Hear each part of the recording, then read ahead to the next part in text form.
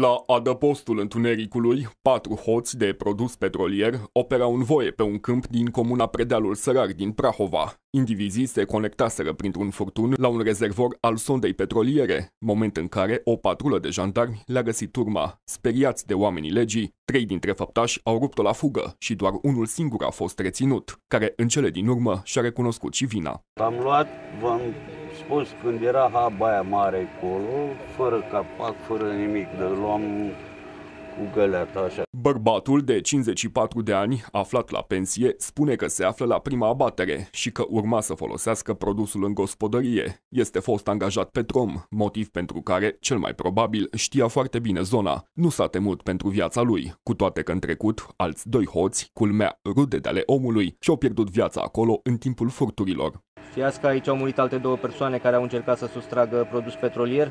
Da, V-ați asumat același risc? nu.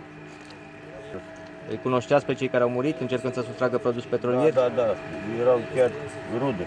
Doar că bărbatul nu se afla singur la furat. Din primele cercetări, alte trei persoane se ascundau în tufișurile din apropiere, când i-au descoperit oamenii legii, doar că acestea s-au făcut nevăzute. Chiar dacă jandarmii le-au pierdut urma, au avut timp să își dea seama că unul dintre fugari avea antecedente penale.